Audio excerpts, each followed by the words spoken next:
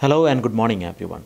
So now today we will be moving forward to uh, page 147 where we will discuss about this leptospira. Now we will discuss about this important topic of syphilis. Syphilis is present all over the world. It is one of the sexually transmitted diseases that is found all over the world and this is the burden of all over the world in every country including United States of America. So, since it is a sexually transmitted disease, it will transmitted by a bug, by a bacteria that is a spiral insect. We are talking about the spirochetes. So, they are spiral insect bacteria that trans get transmitted through sexual contact and they will lead to a different symptoms, different stages of the disease leading to different symptoms that you can encounter. So, talking about the syphilis, syphilis is caused by spirochete Treponema We have talked about this spirochete organism where we have discussed about the Borrelia, we have discussed about the Leptospira. Now we are discussing the important and third one that is the Treponema pallidum. Treatment is penicillin. The penicillin G, which is uh, actually we can even give long-acting penicillin like benzathine penicillin depending on the stage of the uh, syphilis. But you have to understand syphilis is a disease caused by a bug known as the Treponema pallidum. It is a spiral shaped bacteria. Okay, you have seen this. This is the spiral shaped bacteria and this how can we demonstrate? The demonstration of the organism can be done in a two form. From a microbiological point, if you are to diagnose the disease, there will be a in which stage the disease is. If it is in the primary stage, there are different stages of the disease. I will come to there. If it is in the primary stage, so there will be the structure, there will be the lesion like this chancre. Chancre is a painless ulcer in your genitalia, maybe a male, maybe female. In male, we see male on the penis, there will be the painless genital ulcer that may you not be noticed. So from there, you can excuse and collect the fluid and then you can see under the dark field microscopic. You can even do, do this fluorescence antibody test. In fluorescence microscope, you can observe this organism or you can direct to the PCR. This is the direct demonstration of the organism. Always direct demonstration like PCR or say microscopy, dark field or uh, fluorescence microscopy. This is the strong evidence. This is the 100% evidence. There can be another way by which we can diagnose and these are the called serological test. These were the microscopic that is a dark field or say you can say uh, fluorescence or PCR. This was direct demonstration of the bacteria in inside the microscope or say by PCR molecular technique. We can even go by the indirect way by testing your blood sample and in which means plasma in serum we can detect the antibodies. Okay.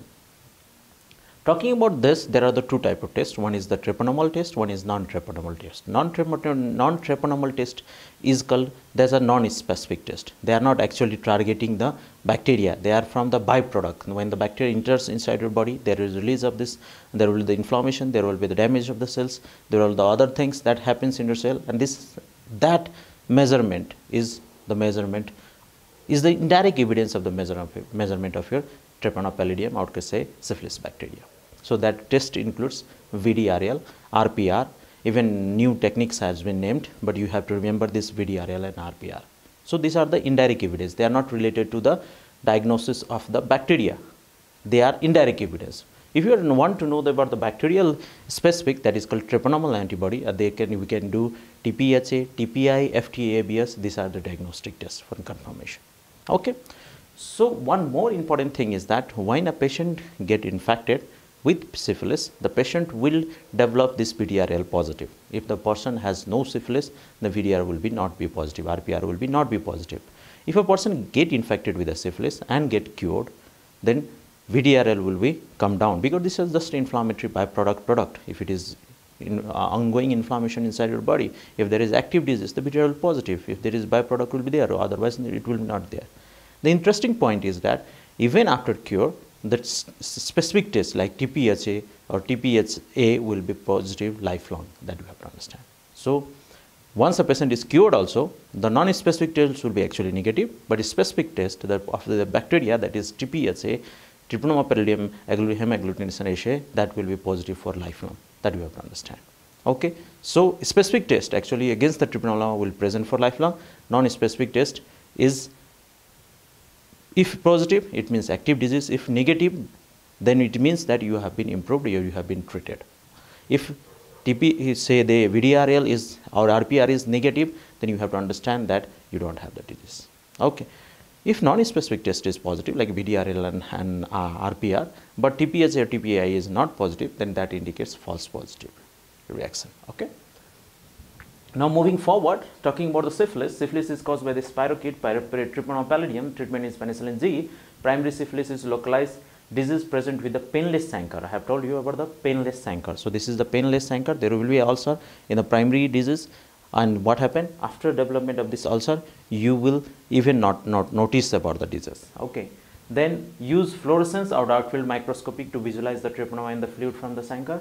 VDRL, that is non-specific test. VDRL or RPR will be positive in 80% case. So what is seeing in the primary case? You are seeing the prim primary case.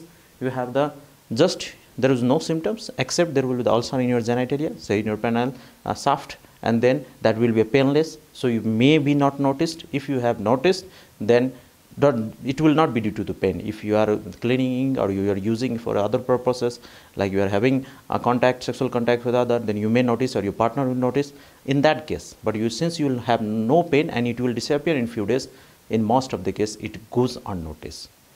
That you have to understand. If you have noticed by chance, then you can do your test and then in that case, you can demonstrate the organism from this uh, ulcer. You can excuse, you can colors in this trial by wearing gloves and then collect the sample and then can use dark field microscopy or fluorescence or even PCR to diagnose the organism itself and that is the 100% confirmatory. So you fluorescence or dark field microscope visualize treponema in the fluid from the chancre. This is a chancre. Don't get uh, confused with the chancroid, which is a painful ulcer, and that is due to Haemophilus ducreyi. We will discuss later. This is talking about the syphilis. It is a painless ulcer. There will be VDRL positive, that is non-specific test. Moving to the secondary syphilis, secondary syphilis will be now disseminated all over the body. It is a hematogenous spread. So secondary syphilis is disseminated disease with constitutional symptom maculopapular rash including palm and sole, condyloma lata and this condyloma lata is called smooth painless wart-like lesion on the genitalia, lymphadenopathy, patchy hair loss, also confirmed with the dark field microscopy. Serological testing with BDRA RPR that is non-specific, confirmed diagnosis with a specific take like FTABS or TPHA. Secondary syphilis is equal to systemic, latent syphilis will can be a serology without symptoms may follow. Now let's go through the secondary syphilis. Secondary syphilis is actually disseminated disease all over your body disseminated with the constitutional symptoms like maculopapular rash. You can see there is the maculopapular rash over here. So these are the maculopapular rash. We have discussed about this primary ulcer. This is ulcer in your shaft of the penis or genitalia that is painless. You can demonstrate the organism. This is dark field microscopy of your spirochetes. Now moving to this uh, secondary syphilis where we are talking about the constitutional symptom. Now the disease has spread in all your body, in the whole, whole system and now you have developed the rash all over your body that is maculopapular rash including palm and sole. So there are only few diseases you can see in the rash in the palm as well. So there are only few diseases where you can find rashes in palm and sole that you have to understand. So including this is the secondary syphilis. There is another formula actually C-A-R-S CARS. This is Coxsackie A rickettsia and secondary syphilis. These are only the infection in which you will find infect rashes in your palm and sole. So there are only few diseases like Coxsackie A virus, then is rickettsia and this secondary syphilis. So in, there are very few diseases where you will find this rashes on the palm and sole. And if you are finding this is a very alarming feature, this is a very very good important clue for you to reach the diagnosis. Okay, so that is important. So they have maculopapular rash including palm and sole. So you have seen them in the palm, palm. They can also develop this condyloma lata. This is another feature. So this is the, you can see over here. So we can take it over this. Then we, we can move on now. Uh, So we can move over this condyloma lata. This is the condyloma lata is a feature that is the smooth, painless, wart-like white lesion on the genitalia, lymphadenopathy, patchy hair loss, also confirmed with the Let me talk about this condyloma lata. Condyloma lata is a smooth, painless, wart-like white lesion on genitalia. So you are finding smooth, painless, wart-like, this is irregular, wart-like structure that is found over here and this is painless ulcer that is called condyloma lata. This is present of your secondary syphilis. This is the feature of your secondary syphilis that you have to understand. So, we are talking about the sec secondary syphilis and when we where we have discussed about this condyloma lata, smooth painless wart-like lesion on the genitalia, there will be your lymphadenopathy. Inguinal lymph node will be enlarged, but they all are painless. There will be a patchy hair loss. There will they can uh, this can also be confirmed with dark field microscopy. We can even uh, demonstrate the organism if it is in the early stage of your secondary syphilis. Otherwise, you can go directly for doing the serological test where non-specific tests like VDR and RPR will be positive if it is positive, then confirm with a specific test, treponemal test that is FT-ABS or TPHA or TPHI. So, that will be a confirmatory. Secondary syphilis is systemic syphilis. Coming to the after secondary syphilis, their patient can goes into the asymptomatic stage. That is called latent syphilis. In latent syphilis, you don't have any symptoms, but you have the what? You have now serological test positive. So, if you have serological test positive, but no symptom, that is called latent syphilis. The latent syphilis can be divided into two phases, early phase and late phase. In early phase, you will have serological positive. Early phase latent, syphilis is called as when a patient has less than one year of exposure. Suppose someone has sexual contact with the infected person or says high risk people within one year, which is called as early latent syphilis. It can be also called late latent syphilis when a patient has exposure or unknown exposure. You don't know when he has got the syphilis or it is more than one year, then we call is late syphilis. Late latent syphilis. So, syphilis can be divided as prim primary syphilis, secondary syphilis, latent syphilis, in latent, early latent syphilis and late latent syphilis and then tertiary syphilis. This is the way we stages the this disease. So, latent syphilis is a serological positive without symptoms may follow. And in this you can have this you do the screening test in which patient you will do this. There will be the high risk people. There will be a trans from one person to another person can be transmitted.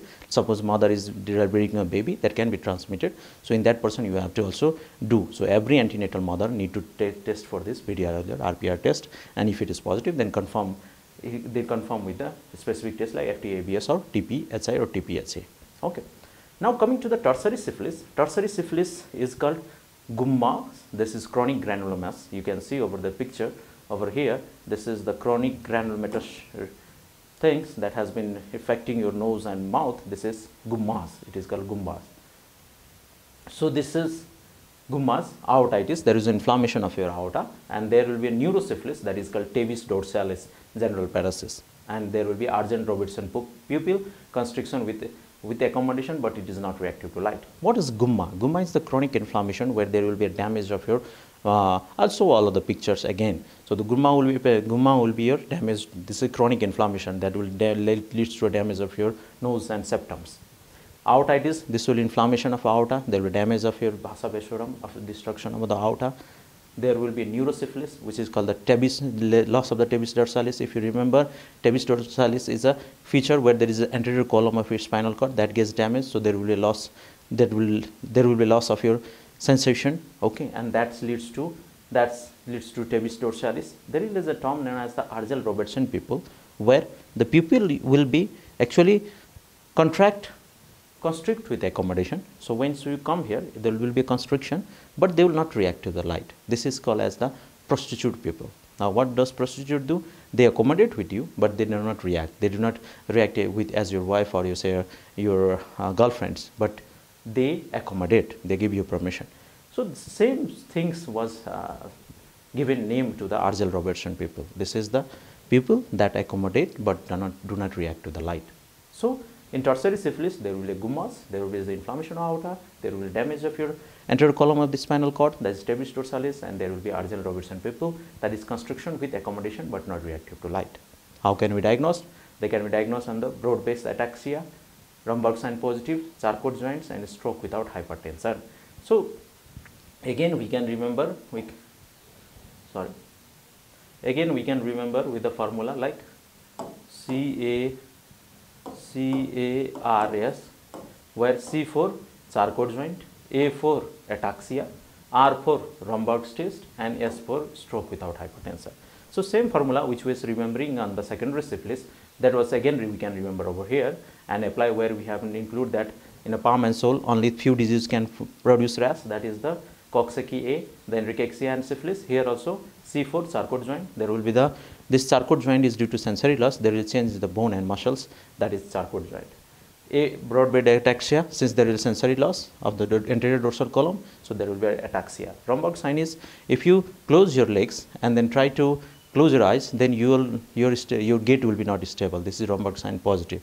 In, a, in open eye, you will, you, the patient can maintain their posture, but when you say to close their legs and say to close your eyes, they cannot maintain that posture. That is Romberg positive and they develop stroke without hypertension. For neurosyphilis, test spinal fluid. We have to test the CSF as well for VDRL, FTABS and PCR. So if you are suspecting of neurosyphilis is a torsade case, the brain has been involved not only do not test only the serum you have to test the spinal fluid as well in spinal fluid also you can test for the VDRL, you can test for the treponema test like FTABS or TPHI and you can do the PCR by which we can confirm our diagnosis. And even one, uh, one of the case we have diagnosed in our hospital with neurology, neurologist by thinking of there was mm, there he, he, she was suffering for a long for 20 years not getting improved by all the medication then we thought of okay it may be a tertiary syphilis or neurosyphilis and we do this CSF and we tested for VDRL, TP, FTABS and we found that positive for treponema test that is positive for syphilis bacteria. Now let me go to the our point. So we have gone through this. Now let me show you some of the picture. What is syphilis? Syphilis is actually a sexually transmitted disease that's in cure with antibiotics. Many people won't notice any symptom for years, so it's important to get tested. You can see the syphilis can be divided into the primary syphilis, 3 to 4 weeks of exposure, secondary syphilis, 4 to 8 weeks after appearance of a primary chancre, latent, less than 1 year, early latent disease, late, more than 1 year, late latent disease, and then there is tertiary syphilis when 1 to 10 years after infection. So primary syphilis, there is chancre. In the secondary syphilis, there is a rash, condylomata, systemic symptoms. Latent, there will be no symptoms, only serology positive. And tertiary syphilis, there is the gummatous lesion, cardiovascular like aortitis, coronary arteritis, and CNS is very tabes dorsalis and the Paris. You can see over here, this is the secondary syphilis where you can see the, you can see our first the primary syphilis where there will be the rash, there will be the ulcer, painless ulcer in your genitalia and that you can demonstrate the organism from here itself. When it goes to the secondary syphilis, you can see there there will be the rash in your hand, this palm and sole, and there are only few diseases that can produce the rash in your hand. That is Coxsackie, rickettsia, and secondary syphilis. So you understood this thing. The bacteria, this from the genital, uh, genital ulcer, primary syphilis, we can take and demonstrate the organism. This is the secondary syphilis where we can see rash on the tongue